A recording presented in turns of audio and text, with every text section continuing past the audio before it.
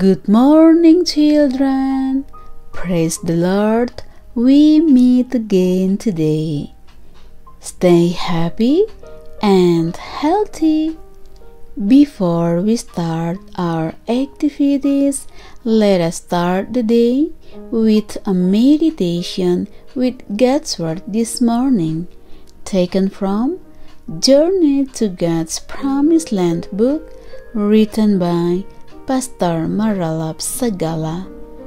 Our topic for today is has to drive out all the inhabitants. Before we proceed, shall we start with a prayer?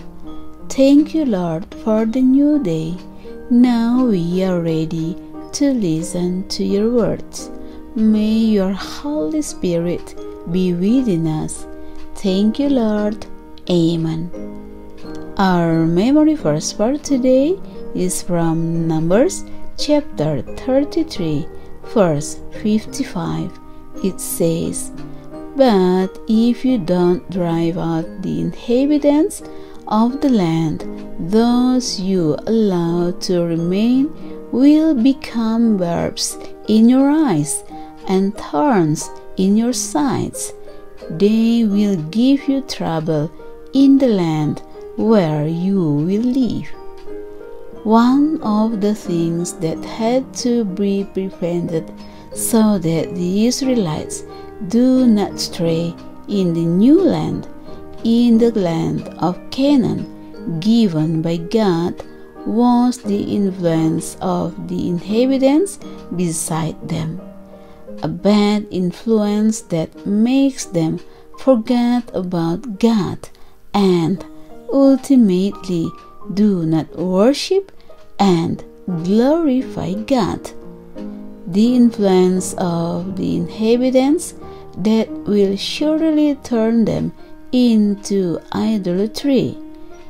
Environmental influence is very important to be given attention. The most dangerous influence of the native people of the land of Canaan was the one that caused them to apostatize and turn them from God. The reason is that the inhabitants of the land of Canaan were idolaters. They worship gods which is not God Himself. The gods they worship we call as deities or idols. The belief of the Canaanites in their gods caused them to indulge in bad behavior and unethical behavior between fellow humans. Their beliefs in their idols make ways of worshipping that is vile for God. Their behavior is an abomination to God, but a joy to them, sinful humans. That's why the influence of the life of the Canaanites might easily lead the Israelites to follow them and leave God behind. Their behavior is an abomination to God, but a joy to them sinful humans.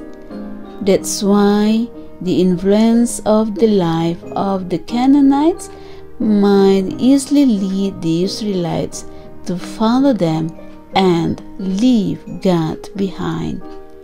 Children, therefore, we need to be careful of all influences. Be aware of the influence of the people around us. Make sure that we don't get carried away by anyone's influence, which that influence will make us leave God. Today, never compromise with anyone if it keeps you away from God. This is the end of our morning worship. May the Lord bless all of the children on this wonderful day. Amen.